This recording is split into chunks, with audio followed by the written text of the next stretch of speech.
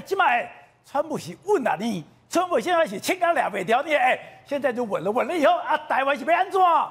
川普稳啊，你都唔知啊？六月火烧波呢，这个天这么热，川普甘一块冰，你知无？有够凉的啦。当然，足些民调讲好像没有赢很多，哎，其实唔是安尼啦。迄几个气势，我讲你啊看伊即马开始岛内了，一直入来，钱开不了啊。就是钱开不了，度呢一直入来，拜登开始讲啦，无啦，我搁过来用个呢。伊伊 拜登讲，我够有钱。系啊，伊搁剩过来用个美金啊未开的，意思讲免惊，我有哪个有足些鸟草的啊。所以川普即马的状况哦，拄则瑞德兄咧讲的，我讲着一摆个讲，伊进前甲咱讲，咧交保护费。其实我是赞成啊，对我嘛，赞成。哦，你啊保护是较实大家讲好清楚，六百亿、八百亿、一千亿，元龙中达。但是武器大家正常买卖。哎，你伊嘛知影呢？大陆即马遐个飞箭、火箭弹，吼。甲伊迄个导弹定位系统拢有啊，专当那么第一岛人家所有的战斗机的跑道第一时间伊也要含你冤家，一定先甲你破坏。你著 F 十六 A B 即马改 C D，互你 F G 拢无法度飞啊啦。啊，你来卖完，卖完啥？F 三十五 B。哦。哎，你干嘛肯定保留迄个 F 三十五 B 呢？对，垂直起降，会当直角起降呢？迄啊，准万一第一时间落去，咱空优拢无的时，咱 F 三十五 B 啊，搁会当飞，你要卖完无啦？你爱确实甲这精锐哦，有了道的赞的武器卖一寡过来，你敢出一支喙啊？要敢收保护费？好啊，那咁啊，卖讲我保个六百八百亿一千亿，咱落去啊！哦，伊是讲接受保护哦，是要看咱较好尔呢？啊，保护会起来袂？咁咪，你咪讲保险？我钱钱落去也是保险尔呢，保险唔是表示你未出代志呢。啊，伊兵有要来无？哦，这就是红线哦。中国大陆有话讲哦，出兵来台湾，这就是打着我红线。我唔是看台湾冤尔哦，我正面就看你冤啦。所以听下就好啦，咱爱自立自强，但是咱无美国人，咱外国咱袂活。好，这这是的。你去换别种牌，咱就去换过食过法国牌的饲料，就未通啊嘛。所以这个代志会使公开讨论，大家公开讲个清楚。对，今日在讲话哦，大家惊喜。哎，台湾人很多人喜欢川普，因为川普上任的时候，然后对付中国，他对付中国以后呢，给台湾很多很好的武器，然后呢，让台湾刚刚讲的我们的自尊心也提升了，安全感也提升了。结果呢，今日安怎讲？哦，你搞到太羞这样了。好的物件都互你赚去啦，你台湾人够足有钱的啦，所以你嘛，哎，保护费，叫保护费，搞我高高嘞，哎，即嘛是安怎？现在买卖啊你？好者，对台湾人爱有信心，爱有信心，免惊，免惊，你惊啥？GDP 三趴，三趴到偌济？总有什么个带二十四趴呢？二十四趴是偌严重？你敢知？就一百块爱摕二十四块来做国防啊？啊，你其他的补助啦？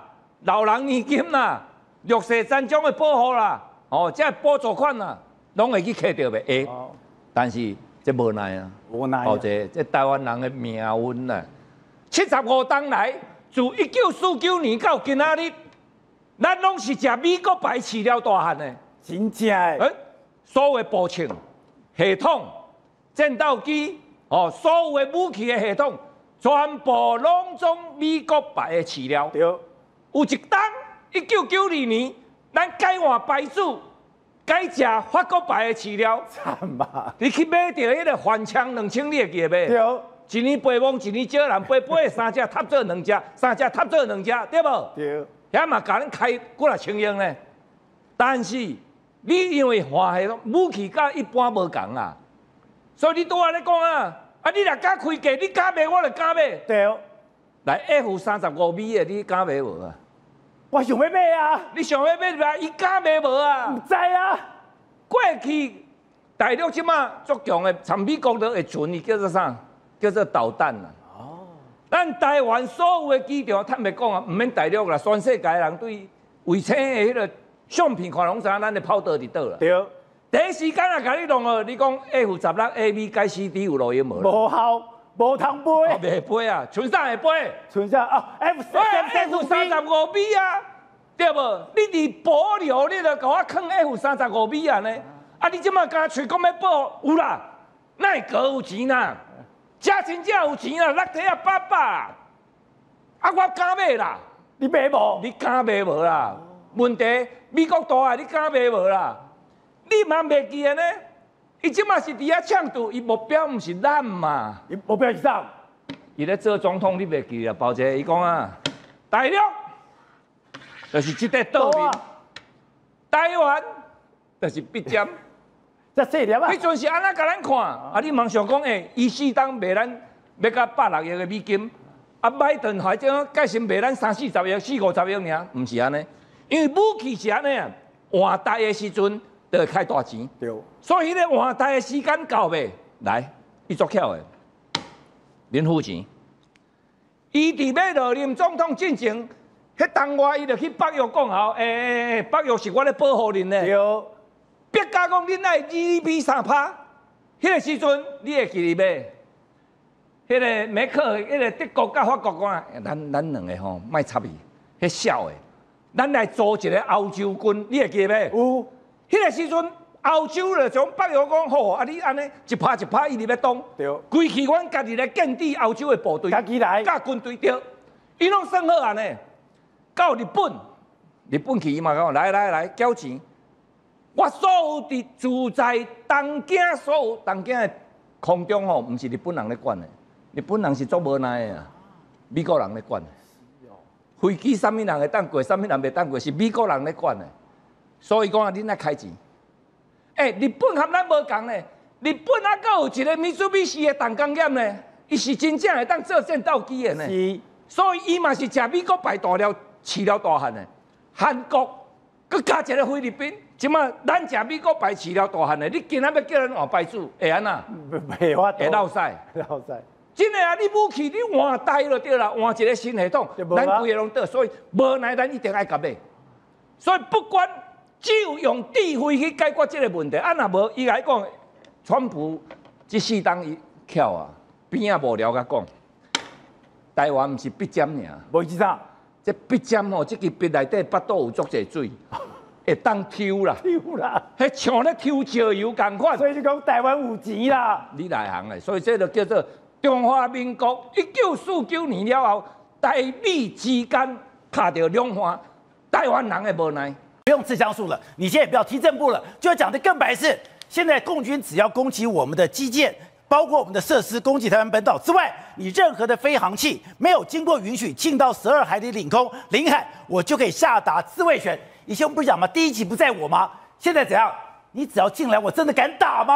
对，问题就在什么地方呢？第一集在谁？第一集就在解放军自己的选择。那么，如果呢，你攻到了，呃，你已经进到了我们的十二海里以内啊，形同侵犯我们的领海跟领空，没有什么好讲的。你的第一集你进来，我们就必须要跟你打下来，用飞弹把你打下来，就没有什么好讲了哦。那为什么呢？如果连自己的领海跟领空都没办法护卫的话呢，我们要中华民国三军干什么？那除此之外，如果那个顾立雄已经跟你讲，如果我们的驻地遭到了攻击，那就是反击，我们是行使自卫权就对了。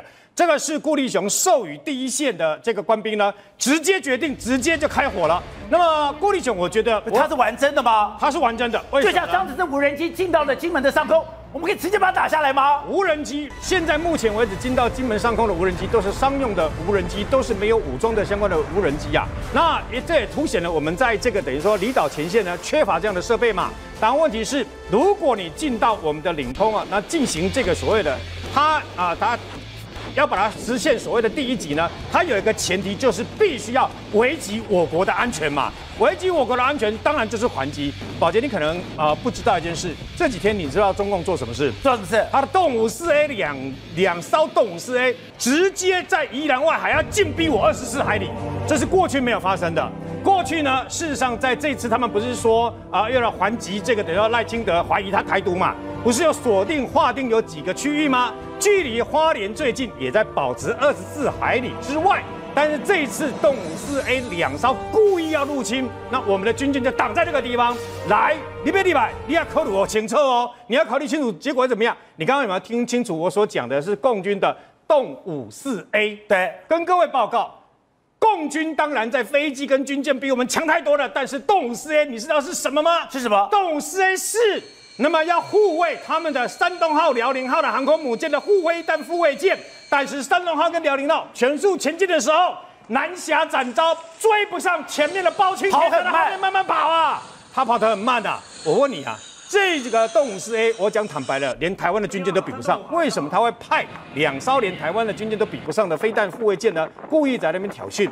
他如果今天来的是动五二 D 或者是动五五，我们就要呛一下，心里要降一下。那个是比我们的任何一艘军舰都要先进的军舰嘛。可是他还是派两艘来洗脑嘛。很简单，这就是中共现在的一个态度嘛。那他为什么这一次对这个等于说，那么呃美军的这个提风系统啊这么感冒？因为很简单。提风系统事实上没什么了不起，它也不是最新的黑科技。问题是，它是这次距离就直接兵临城下，在吕宋岛砰下去了以后，一套提风系统四枚飞弹，有标六有标六的防空飞弹跟这个战斧巡弋飞弹，然后一次是四辆十六枚啊、那么十六枚，如果他多部署几个单位的话，我问你，那形同在南海插一把刀在中共的心脏上面嘛，所以他才会那么感冒嘛。不要忘记，他在这边部署这个提风系统的时候呢，那么日本也跟美国买了这个四百枚的战斧巡飞弹，两百枚旧的，两百枚新的嘛。那什么意思？那台湾源源不断又把这些飞弹跟相关的炮弹运来台湾，整个第一岛链全部都锁紧了嘛，莫怪中共会那么生气。好，这我看刚才讲的顾立雄今天这个谈话，让很多人哎觉得非常的惊讶。台湾真的敢主动攻击了吗？而且他这个是已经跟老美讲好的吗？顾立雄他明显的可以看出来秋归顾不随，对不对？邱国正部长所做的很多事情他都改，但是对宝杰哥，我跟你讲哈，很意外的，他去了立法院讲完之后，军中出现了不要说两极啦，就是很多人觉得说，哎呦，看来是新官上任新气象哦。对他不踢正步，他不上刺刀术。以前邱国正他坚持要，因为是黄埔精神。那不踢正步，今年可能是最后一次。黄埔百年之后，他说今年都已经练好了，所以就踢。然后步都不用去，就学生就好了。明年以后呢，也不用踢了。为什么？因为在现代的科技战争当中，发射飞弹、操作武器，不会打到最后还要面对面的。以后我等一下，我先上刺刀，不会了。但他不是不要战绩哦，他要战绩，他要搏击，但他不要上刺刀。第二个，他还做了什么改变？我们以前其实我我本来也没那么清楚哎，宝杰哥你知道吗？只要当兵的话哦，他这一辈子可能住五二十年，老婆女儿说要去日本玩，他都不能去啊，因为他不能跟着去啊，他也不能自由行啊。然后说跟团，那大家一起跟不是，是要国防部他们同意的团。那现在把它解开了，你要自由行就是自由行，出国也不用回报，休假的时候这个正副主官也不用说，哎，一定要一个人留守。他做的这些改变，就是要做什么？哈，我做个结论好了，他要让现在目前在当兵的人觉得当兵没有那么苦，对没有那么没尊严。或许我不知道，因为现在才刚刚，或许明年回过头来看，这一年过去以后，步兵的人数增加，那他就达标了。这是美国他要要他做的。第二个，他现在目前所讲的，大家都在讨论说，飞到了这个海峡中线以后啊，二十四海里临界距十二海里，怎么样？第一集，这是以前最关注。我以前跑国防新闻的时候，每次国防部记者就问这个，顾立雄完全就说你不用问这个了，这不重要了，因为他飞进来。他就侵犯我们的领空的时候，就视为第一级的。我们随时要反击，我们不会去管说是不是我要建对空鸣枪什么，还有用枪机制没有了。他要让对方知道说，我们现在目前我们做好防卫，我们不会过去。但如果你过来的话，你就要必须面对我们中华民国国军的一个制裁的。那所以以前讲说第一集是开火对射击，现在不是，是你只要越界，你就是第一集了。这个在邱国正部长他最后几个月的时候，他其实已经有暗示了，就是说不是说对方飞进来，然后他必须要开火我们才回，也不是说对方飞进来我们必须要先示警，他其实就是告诉你不要飞过来。那宝杰哥，我现在马上讲，他说不要飞过来，不要对台湾进行这个军事上的威胁，这个事情刚好跟最近拜登的说法是吻合的。拜登就讲啊，我们是一中政策 （One China Policy），所以我不会好跑去一个叫叫台湾独立或怎么样。可是你中国大陆的解放军不能来台湾侵犯台湾、攻击台湾啊。所以你一旦有的时候，顾立雄他所做的事情就是他要跟美国，美国当然不会明目张胆讲他跟顾立雄怎么样了，可是你可以看得出来，他做的就是美式的一个改革，美式的军事改革。然后我就宝杰哥，我们现在所有武器都是什么制的？都美国的啊。所以顾立雄他现在上来以后哈，他在整个国防的概念上面完全不同。然后最让大家惊讶的是什么？五二三、五二四的时候，不是中国大陆军演利剑二零二四吗？他都已经把我们台湾围起来了。你新官上任，你当国防部长是不是要赶快去，对不对？听报告，对不对？听几分钟而已就离开了。为什么？因为他说真的要打仗的话是谁？是这个哈梅家树参谋总长，他负责指挥作战，我是国防部长，完全的分工分权。难道知道踢正步他才会打仗吗？不可能的事情，把所有时间应该回归到正常的战术，然后踢正步的时间、刺枪术的时间留出来之后要干嘛？总总不能去拔草吧，总不能去扫厕所吧？那这些阿兵哥要做什么？就是学习美国的战术，这就是美国的指导原则。还好我早当完兵了，不关我的事情，太可怕了，很可怕。看完冷汗直为什么这些东西删掉？但你知道换过来是什么吗？实打实的硬操演，有够硬。比如说很硬吗？他们现在讲我们要先学一个东西叫做近战格斗。我看完那个画面，我吓死。而且美国要求中国不要轻举妄动，不只是说他拉帮结派对付中国，现在连把手。伸到台湾是越来越清楚了。今天除了刚刚讲的 F 十六的备品设备，现在是卖给台湾，这不不足为奇，因为我们买了你的武器，本来就可以买你的备品。更夸张的是，你自己直接从美国的军火库，从美国军空军的武这个武器库直接调过来，调过来以后是不是就可以互通有无？另外就是透过顾立雄，以前我们听到的消息是说，蔡英文早就要改了，可是邱国正这些人就是不肯改，换了顾立雄了以后，就代表。美国对你台湾的训练都有意见了。对啊，没有错。你看我们的空军的 F 十六，现在来讲的话，二零二二年曾经跟美国买过 F 十六相关的备品零组件，但是现在二零二四年又跟他买，结果这一次的新闻稿当中特别出现了一段文字，非常有趣哦。他是说这些备品呢将会从美国的空军的军火库当中转移到台湾来。那这个东西有什么特别嘞？从来以前都没有过的。以前来讲的话，可能就是啊，厂商啊，军火商啊，生产完之后就送到台湾来。但是现在是直接从美国的军火库当中调货。那你想想看，从美国的库存，对，美国库存调过来之后，那美国库存呢，不就是少了几个零组件吗？那少零组件他怎么办呢？他必须要找厂商再去补啊。所以什么意思呢？他。过来之后，他要补，这等于是台湾的军火库跟美国的军火库整个是串在一起了。我多你就少一个，少一个你就要增加。那这样在不断的一直这是进行来讲的话，台湾互通有无了。台湾跟美国的军火库是互通有无，而且再加上这现在顾立雄已经决定了取消踢正步跟所谓的刺枪术这两个东西，其实说真的，在美国的眼中看起来就是集权国家的象征。而且说真的，踢正步也会伤后脑勺，你知道吗？伤小脑勺，会伤脚。更重要的事情。踢正步跟刺枪术怎么打仗？这不符合美国的战绩要求啊！美国的战绩要求是要近身搏斗，或者是采取任何的这个战术来讲。你看今天顾立雄说回归战术，什么叫回归战术？其实就是美国教官要来教台湾的阿兵哥怎么进行实际作战的一个做法。你如果说踢正步来讲的话，你看我今你你如果大家有兴趣的话，把整个亚太地区所有国家有踢正步的国家拉出来，没有日本，没有韩国，那这些国家难道？不会打仗吗？难道知道踢正步他才会打仗吗？不可能的事情。把所有时间应该回归到正常的战术，然后踢正步的时间、刺枪术的时间留出来之后要干嘛？总总不能去拔草吧？总不能去扫厕所吧？那这些阿兵哥要做什么？就是学习美国的战术，这就是美国的指导原则。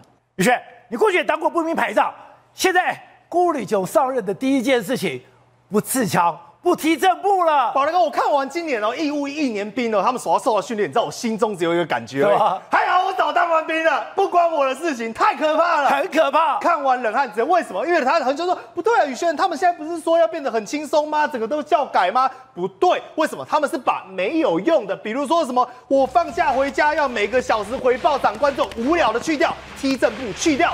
刺枪术，宝雷哥还记不记得？前进突刺，刺，哎，完全没有任何作用，完全没有任何屁用，这些东西删掉。但你知道换过来是什么吗？实打实的硬操演，有够硬。比如说，很硬吗？他们现在讲，我们要先学一个东西，叫做近战格斗。我看完那个画面，我吓死各位。就你现在看到这个近战格斗什么意思？它是要你真的两个单兵就进行演练，而这个演练的模拟状况是什么？如果说战场上发生，你看哦，有人攻击你，拿刀要刺你，你要做什么样的动作？什么样的反制？什么样的摔？你看啊，直接把他肩膀压在那边，这是压针的，直接摔，不是开玩笑。你看那个这个是真的往后前置住，让他动弹不得，去学习这些近身近身的战斗。而且不只是这样，他还要做什么？比如说我们讲的合化声棒演练，什么意思？以前呢，我们是不是大家都演练过？说，哎，单兵注意啊，单兵注意之后要做什么事情？来，抬头观察，由左往右，由右往左，喊口号嘛。但现在不是，他就是说，好，比如说真的前方有核爆，请问单兵该如何处置？你就真的要戴着防毒面具了。各位，你看哦，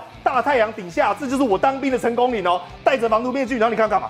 往前走，往前走。然后突然班长一喊，核爆发生了，你要怎么办？然后他们马上呢就这是毒气室，哎毒气室里面放毒气。宝那个真的放毒气哦，各位，你不要看他们现在，因为这是镜头在拍，来这个就是真的毒气室了，他们真的要进去里面，然后给毒气熏个一分钟。你看他们来出来之后，每个人赶快脱下来，泪流满面，因为那个真的很臭，你知道吗，那个？然后他整个泪流满面的时候，你看他吐口水，吐不只是吐口水，甚至还会吐，因为真的很痛苦。他们说就让你体验到真实，如果。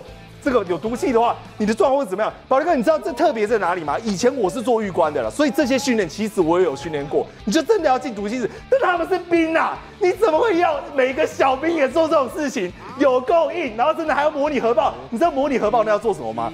放肆！等于就是你真的要蹲在那边大太阳底下，而戴着防毒面具哦。枪还背在你背后，然后这边盯盯九十秒，九十秒你才可以停下来。而这些训练现在通通都跑到了，连一般的阿兵哥一年无役都得要经过这种训练。所以他们要玩都玩真的，哎，对，而且有一项我不只是玩真的，连我这种当狱官过的，我军官我都没玩过。你知道玩什么吗？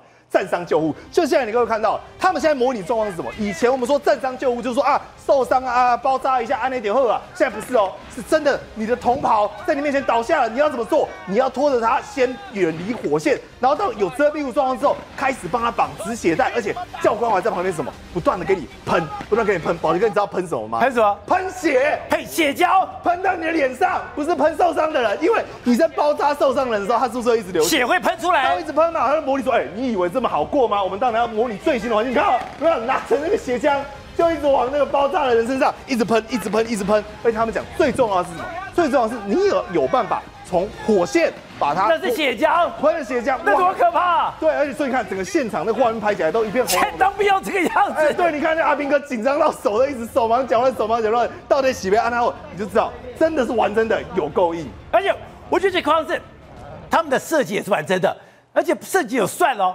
还搞夜间射击？对，没有错。为什么？因为我们以前呢，在做这种射击训练的时候，我那时候拿了叫做六五 K two 那种老古董，你知道怎么射击法吗？没有，就是班兵排好好，然后清枪完毕之后呢，到一个定点，非常的安全的状况之下，大家一起齐射，一射哦，射击，嘣，然后就这样子。他们现在不是，他们现在什么？边跑边射。